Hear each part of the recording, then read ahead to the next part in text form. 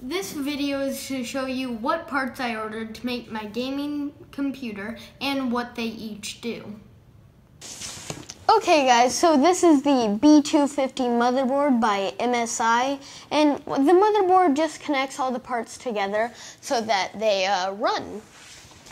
Okay guys, so this is the GeForce GTX 1070 graphics card by Asus, and the graphics card just um, gives you more frames per second on all your games and uh, YouTube. Okay guys, so this is the Core i7 by Intel, and the processor basically just processes things, and the better one you have, the better gaming experience you'll have. Okay, so this is the H60 liquid CPU cooler by Corsair. And what the CPU cooler does is just keep the CPU, which is the processor, cool, because if it's not cool, uh, it'll burn out and break, and then you'll have to buy another one, and it won't be fun.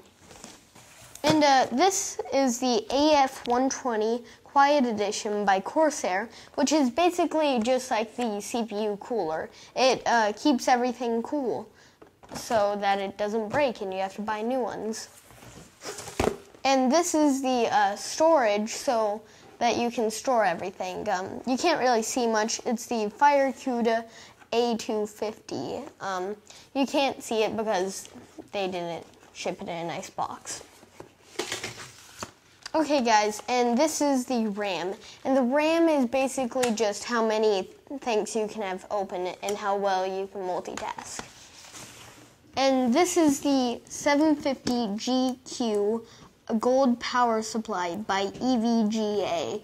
And it's 80 plus gold, so it'll save you energy on your energy bill. And um, it basically just powers your CPU and everything in your computer. Uh, for watching guys, hope you enjoyed and be sure to watch my other two videos on unboxing all these parts and seeing what's inside all of them and be sure to watch me assembling all the parts which was really fun and I had a great time doing that.